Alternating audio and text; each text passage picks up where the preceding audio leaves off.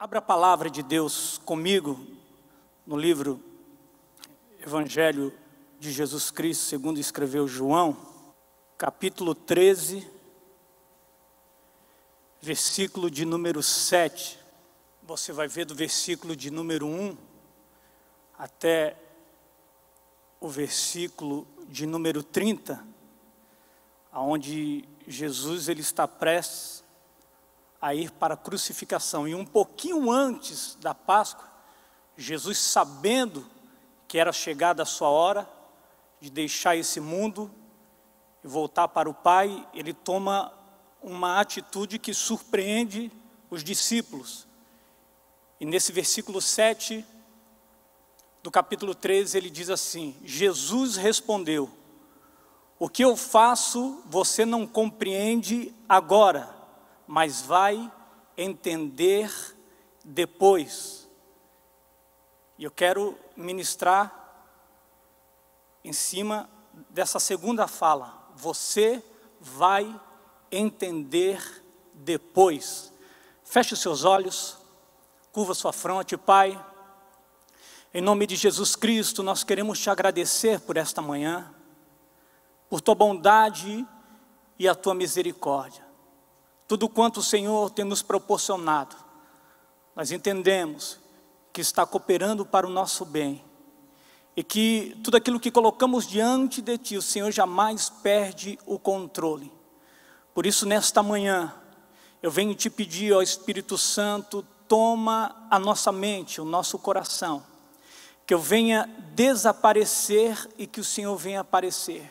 Que a palavra que será ministrada, ó Deus, venha trazer fortalecimento, renovo e refrigério ao coração do teu filho e da tua filha que se encontra aqui nesta manhã, talvez diante de dúvidas, de adversidades, é, diante de tempestades e não sabe o que fazer, mas nesta manhã eu sei que o Senhor irá falar com ela, dará a ela sensibilidade e discernimento, e ela sairá daqui com a convicção de que o Senhor é o Deus Todo-Poderoso e dará a ela vitória para a honra e glória do nome de Jesus Cristo.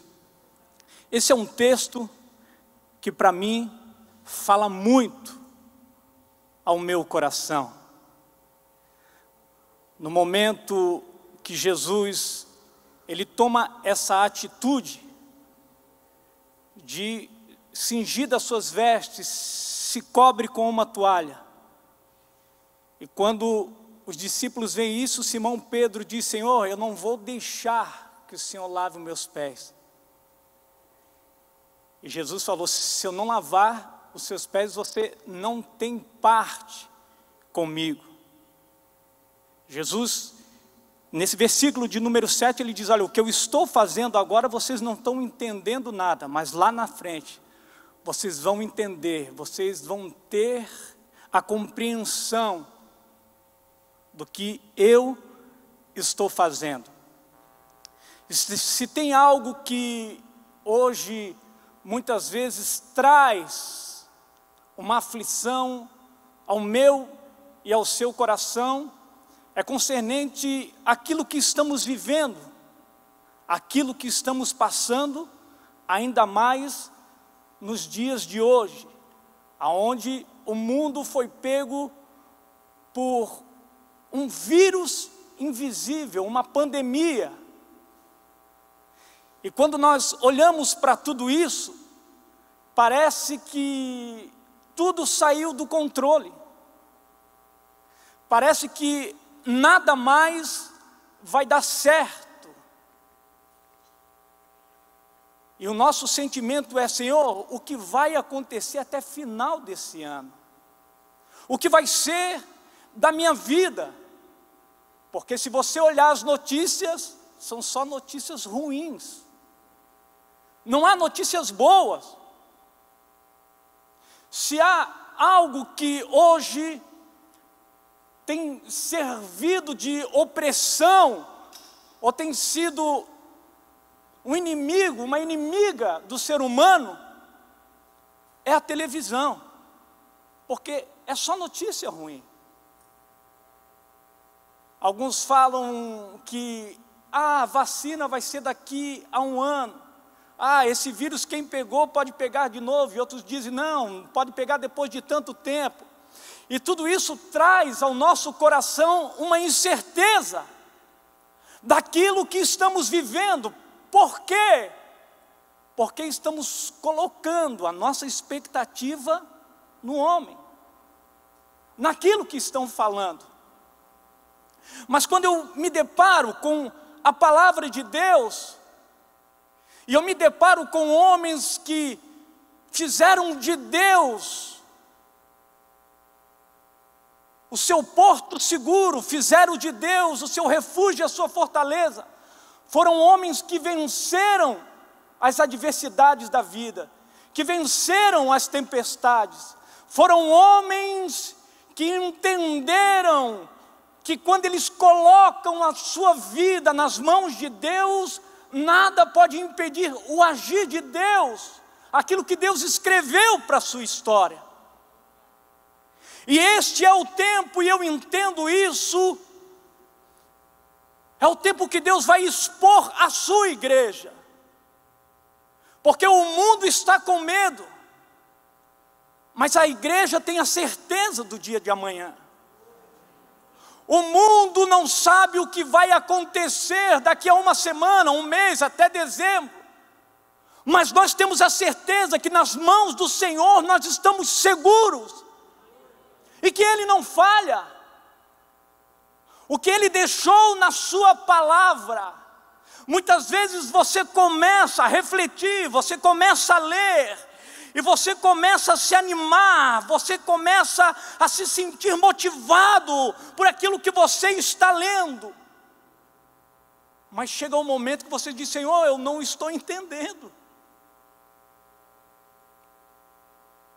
Senhor, me mostra, fala comigo o que está acontecendo, o que vai ser de mim no dia de amanhã. E a maior dificuldade e aflição dos discípulos eram essa, porque eles andavam com Jesus a partir do momento que Jesus começou a falar para eles concernente à sua crucificação. Eles começaram a ficar temerosos por causa das perseguições e Jesus não estaria mais junto com eles. Hoje, querido, nós temos o Espírito Santo de Deus. O Pai nos enviou Ele. Em nenhum momento da sua vida Ele vai te deixar. As pessoas podem nos abandonar, as pessoas nos abandonam, muitas vezes por um erro, por uma falha, mas o Espírito Santo não. Em todos os momentos ele está ali. E eu acho algo tão poderoso porque a Bíblia nos diz que Ele é o nosso ajudador, Ele é aquele que intercede ao Pai por nós. Se o mundo luta por um espírito, por um vírus invisível, nós servimos a um Deus invisível e poderoso. O pastor Júnior tem falado isso com frequência aqui, que antes desta pandemia acontecer, Deus já sabia quando ela ia acabar. Você não sabe, mas Deus sabe. Você não tem, querido, a certeza, segundo a ótica humana, o que vai acontecer até final do ano, mas segundo a ótica da fé, a palavra de Deus, tenha certeza de uma coisa: você vai chegar no final desse ano intacto, sem prejuízos, e o nome de Jesus Cristo ele será glorificado. Eu tenho certeza disso. Podem sair do seu controle Talvez você não consegue mais fazer ou projetar aquilo que você sonhava, porque há um medo no seu coração, há uma incerteza no seu coração. Porque quando a dificuldade bate na porta, é aí que nós vamos ver quem é e quem não é. Esse é um tempo que, mais do que nunca, você tem que estar aos pés do Senhor. Eu não consigo ficar sem vir a um culto, não é porque eu sou um pastor e um pastor integrado, mas eu não consigo. Porque eu sei que aqui eu me alimento, porque eu sei que deste altar estão saindo palavras que vão mudar a minha história e a situação que estão ao meu redor.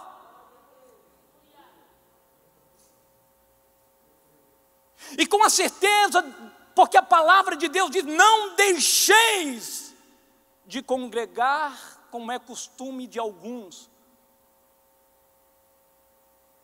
tendo a certeza de que está próxima a vinda do Filho de Deus. A minha vida, e deixa eu abrir um parênteses aqui, desde quando eu me conheço como cristão, sempre eu tive uma liderança sobre a minha vida. Nunca deixei de ter uma liderança sobre a minha vida, um pastor sobre a minha vida. Porque eu sei da importância no mundo espiritual, no reino de Deus, de ter uma liderança sobre a minha vida, sobre o meu casamento, sobre a minha família e sobre a minha casa.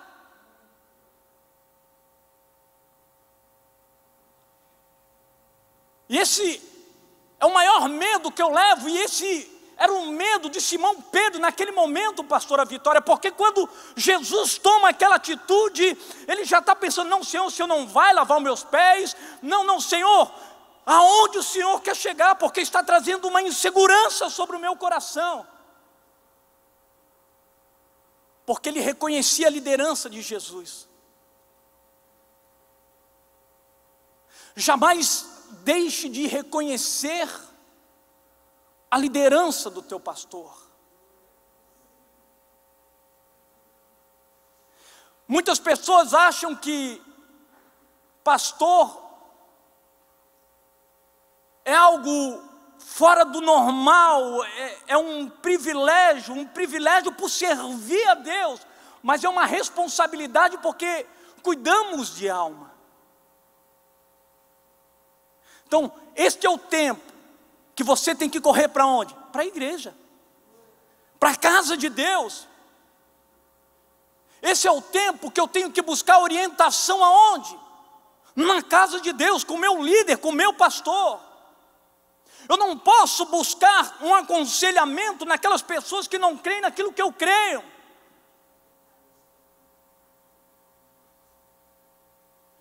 Aqui, neste lugar, é onde Deus vai te levar a viver a cada dia uma vida sobrenatural. Querido, não importa o que o mundo fala, a palavra de Deus fala que eu sou mais do que vencedor em Cristo Jesus, e é sobre Ele, é sobre a Sua palavra que eu estou caminhando. Então não há principado, não há potestade, a dificuldade pode vir, mas eu vou passar por ela. Ei, o dia de amanhã, a mídia pode estar falando que vai ser o pior dia do ano, mas para mim vai ser o melhor, porque o Criador dos céus e da terra está cuidando da minha história. Uh! Eu sei em quem eu tenho crido, eu sei disso. Eu sei que Ele é poderoso para fazer infinitamente mais daquilo que eu tenho pedido ou pensado segundo o poder em que em nós opera. Eu sei disso. Então, pare com esses pensamentos de que agora vai ser só destruição, só falência. Não.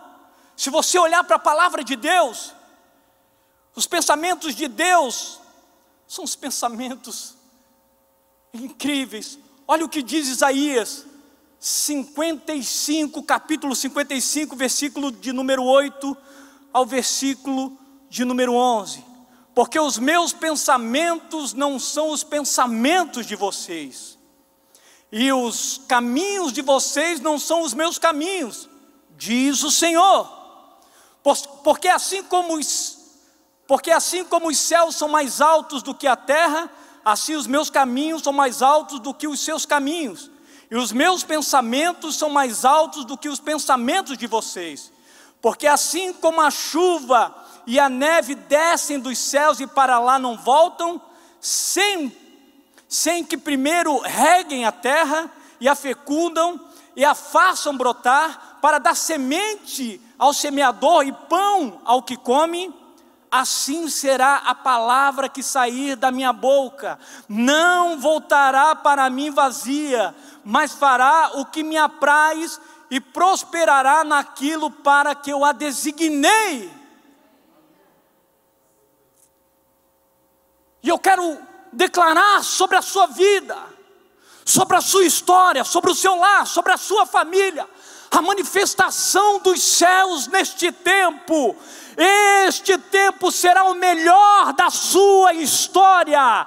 Você não vai parar, você não vai fracassar, você não vai olhar para trás, você não vai se contaminar com aquilo que está no mundo, mas você vai se refugiar nele, você vai adorar o nome dele, você vai declarar para as dificuldades, as lutas: ei, o meu Deus é grande, o meu Deus é poderoso, e ele está se no controle da minha vida. Oh meu Deus! Já falava a pastora Cassiane, com Cristo é vencer ou vencer. Com Ele não tem derrota, Pastor Júnior. Eu sei aonde eu vou chegar, querida. Até hoje, Ele não me decepcionou e não vai me decepcionar. Nos momentos de fragilidade, Ele estava comigo. Ele está com você. O Espírito Santo de Deus, ele habita na sua vida. Então descanse, não tente entender agora.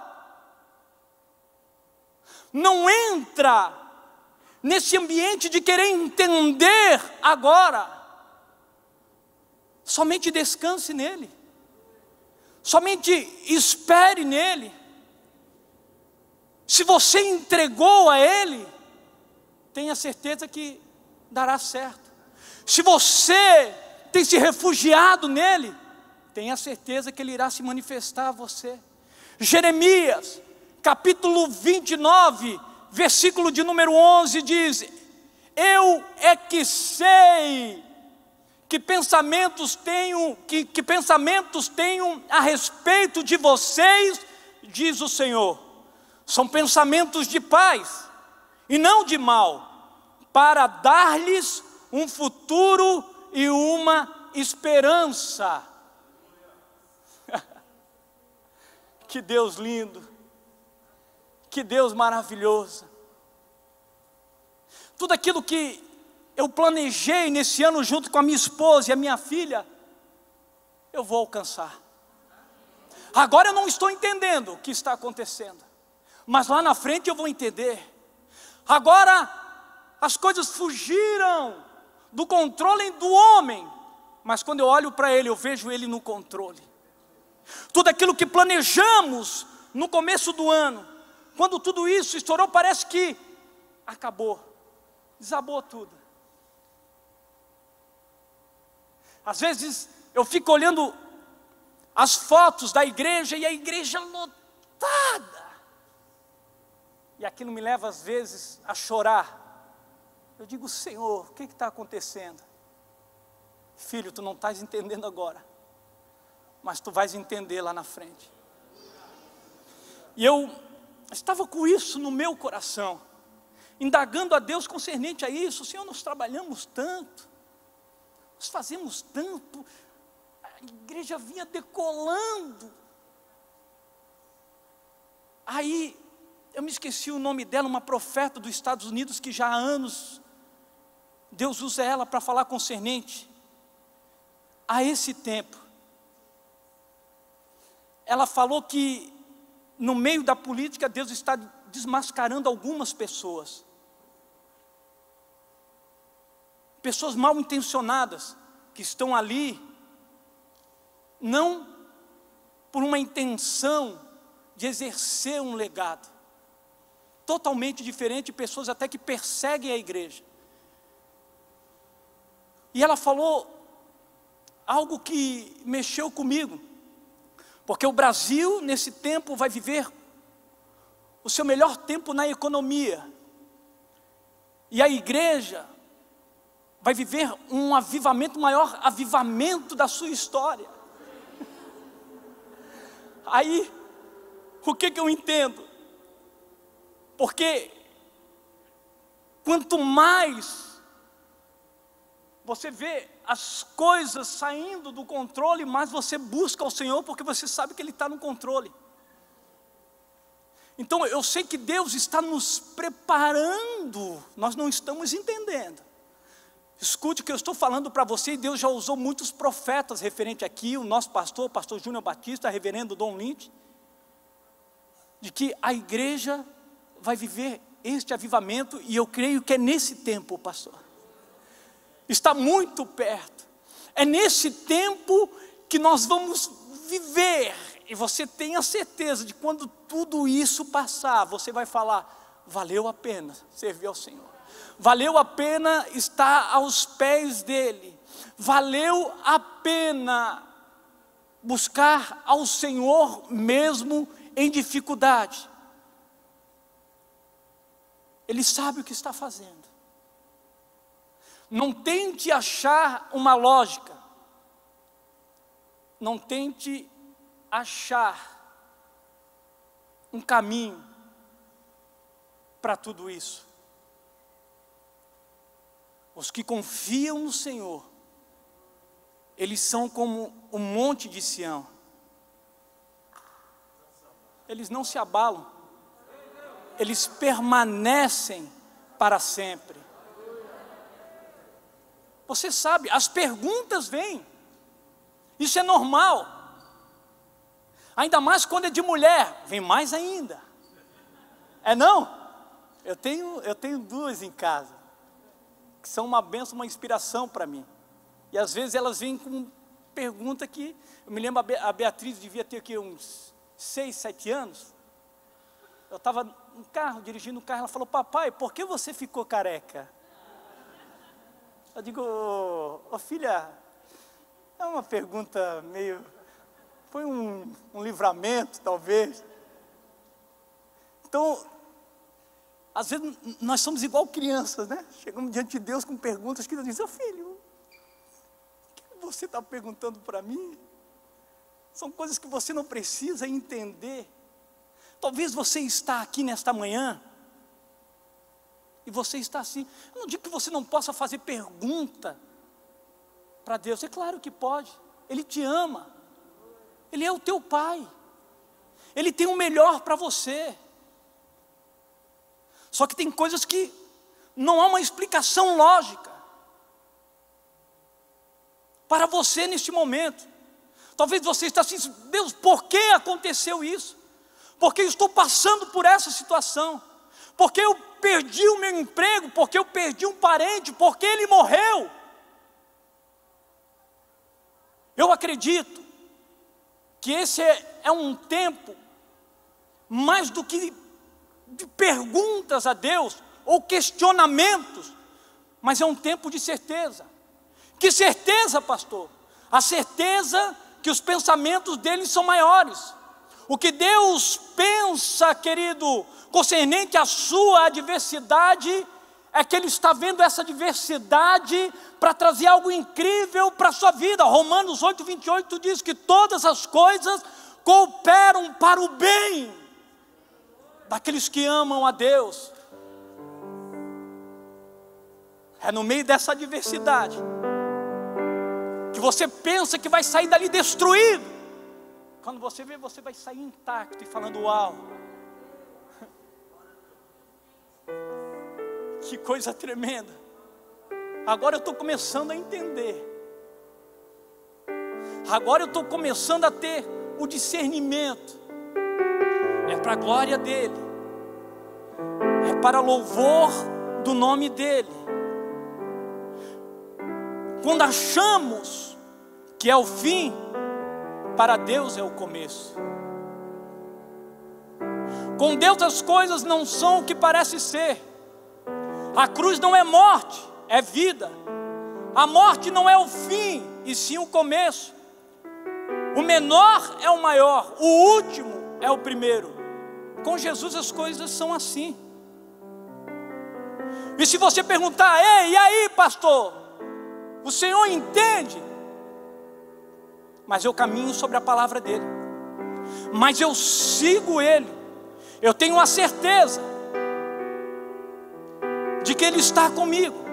Eu tenho a certeza que pode se levantar o que for eu tenho a certeza de que o mundo pode viver o pior momento da sua história, mas eu, a minha casa, a minha igreja, ah, nesse tempo nós vamos viver um tempo de manifestação dos céus, de milagres, de sinais, e o nome dele será glorificado. Os meus planos podem até ter dado errado,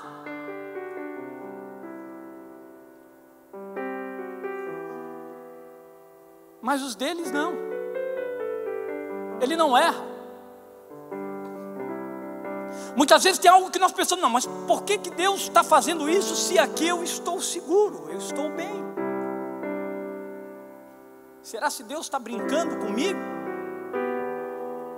E aí eu lembro de Abraão com 75 anos, quando Deus diz: Ei, sai da casa do teu pai, da tua parentela, sai da tua terra e vai para um lugar que eu vou o quê? Te mostrar.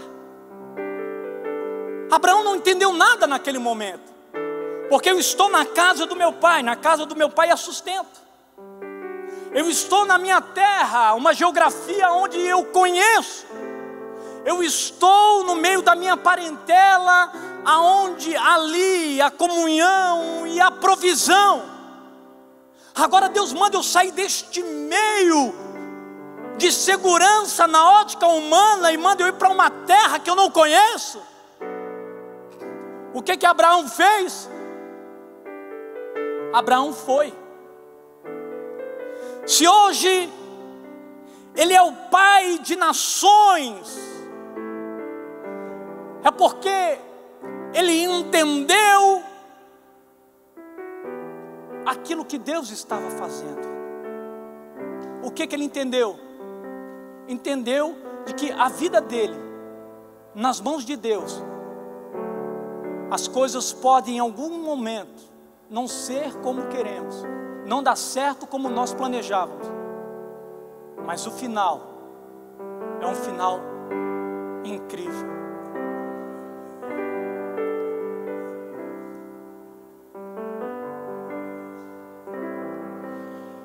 Eu vi uma pesquisa e uma pesquisa que até me assustou. Existe uma pesquisa que mostra que uma pessoa por dia tem de 50 a 60 mil pensamentos.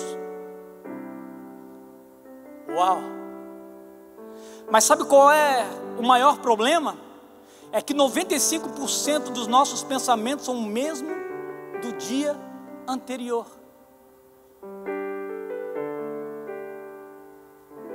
Não é de se surpreender que a maioria das pessoas passam a vida toda sem mudar.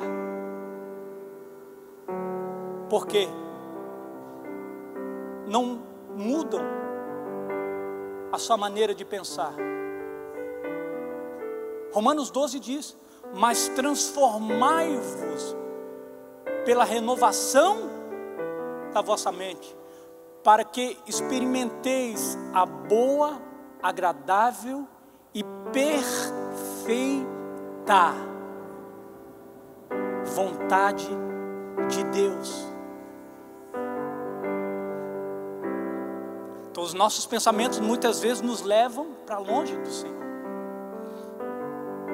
Muitas vezes nós temos a certeza de algo que está nos tirando do propósito de Deus, porque não estamos entendendo aquilo que está acontecendo no momento. Mas deixa eu falar algo para você: Ele é o caminho, Ele é a verdade, Ele é a vida, não há um outro caminho. Evangelho de Jesus Cristo, segundo escreveu João, capítulo 14, versículo de número 5 e 6 diz: Então Tomé disse a Jesus: Uau, Tomé, não sabemos para onde o Senhor vai, como podemos saber o caminho? Jesus, o Mestre, respondeu: Eu sou o caminho, a verdade e a vida. Ninguém vai ao Pai senão por mim. Então você quer um conselho nesta manhã? Caminhe sobre ele.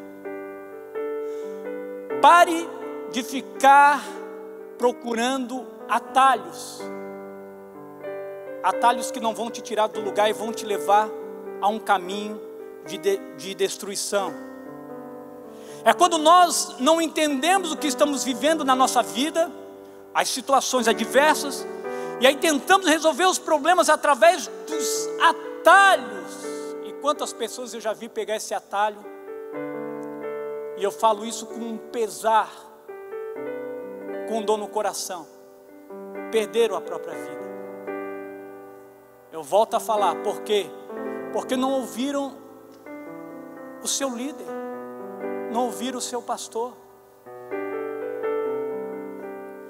Eu estava sábado passado em um local e me deram algumas fotos concernentes o meu batismo, a primeira vez que eu ministrei a palavra de Deus, e, e naquela foto, a maioria das fotos, aparecia uma pessoa, Pastor Beto, estava ali na foto comigo. Orávamos juntos, subíamos, subíamos um monte juntos para orar. Estávamos, bem dizer, todos os dias juntos. Só que chegou um momento, e foi um momento que Deus mais estava prosperando a vida dele. Ele chegou para o pastor aonde nós congregávamos e falou: Eu estou indo embora. E não adiantou o pastor falar nada, ele foi embora. E ele foi para perder a própria vida, porque tentou pegar atalhos. Tudo o que eu estou vivendo até hoje, eu nunca tentei ajudar Deus em nada, em nenhum momento, mesmo sem entender algumas coisas. Entender, sem entender o porquê que Deus levou a minha mãe, depois eu fui entender. Mas em todos os momentos, eu dobrava meus joelhos e falava: Senhor, eu não quero viver aquilo que eu acho que eu tenho que viver. O Senhor tem o melhor para a minha vida. O Senhor tem o melhor para a minha história. Se eu fosse no meu entendimento e eu trabalhava no comércio, se eu ficasse no meu cantinho, poderia estar vivendo aí muitas coisas na, na área materiais, concernente uma vida de ilusão, que não iam me levar a lugar nenhum. Mas aí quando eu começo a pensar no dia de hoje, eu vejo que como Deus foi bom comigo, com a minha casa, com a minha família. Porque deixa eu falar algo para você, querido, nós não merecemos nada. Quando eu olho para dentro de mim, eu vejo que eu mesmo começo a ver coisas que, meu Deus, como Deus me ama, como Deus me abençoa.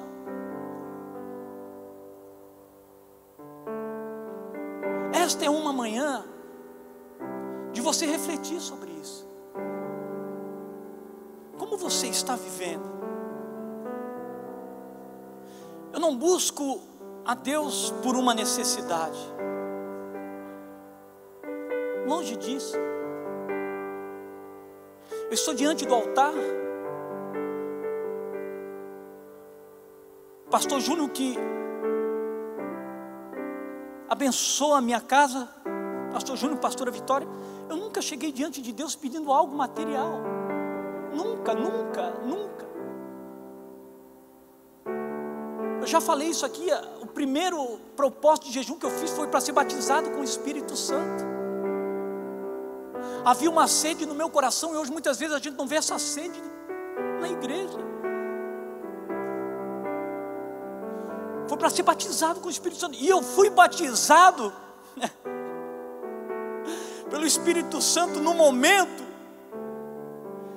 mas um momento de dificuldade, de luta. Eu morava com meu pai na fé, não entendendo nada do que estava acontecendo. Deus vem, me batiza naquele momento. Mesmo sem entender, eu vou continuar crendo. Mesmo sem entender, eu não vou tirar os meus pés da casa de Deus. Eu posso fazer planos. A Bíblia diz isso, Provérbios 16, 9. O coração do ser humano traça o seu caminho, mas o Senhor lhe dirige os passos. Esse é o momento que nós temos que pedir para Deus: Senhor, que eu possa descansar em Ti. Muitas vezes a gente quer ver o que está acontecendo. E aí eu lembro do profeta Eliseu, aonde eles se viram cercados pelos seus inimigos. O seu moço fica apavorado: olha, nós estamos cercados, nós vamos morrer. E ele pede para Deus: Senhor, abre os olhos dele. E ele vê vê a mão do Senhor sobre a vida deles. Deus, Ele é soberano. Deus, Ele te ama. Ele é um Pai amoroso. No final, você vai entender que em tudo há um propósito. Se coloque de pé nesta manhã.